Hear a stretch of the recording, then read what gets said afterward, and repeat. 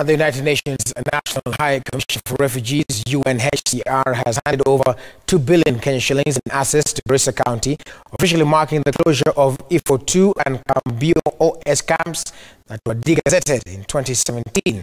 Now, the ceremony saw local leaders urge the national government to fast-track the removal of Kenyans captured in the refugee database and who cannot acquire IDs.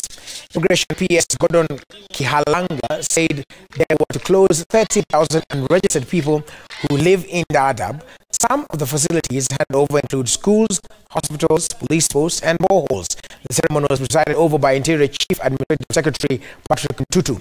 Now, over 82,000 refugees have been repatriated since 2013 when Kenya, Somalia, and the UNHCR entered into a tripartite agreement to enable the voluntary repatriation of refugees. wako kwa refugee database. Hawa watu hawawezi kupata kitambulisho, hawawezi kusafiri, hawawezi kupata ajira, hawawezi kupiga kura, hawakuweza kuingia kwa huduma namba kwa sababu hawa hawana chochote ya kuonyesha hawa ni Wakenya. Na kwa hivyo leo sisi tunataka kusikia ujumbe kutoka serikali kuu kuhusu hili jambo la refugee database. by mwezi wa nane tunataka kumaliza mambo ya verification exercise. Kwa sababu gani?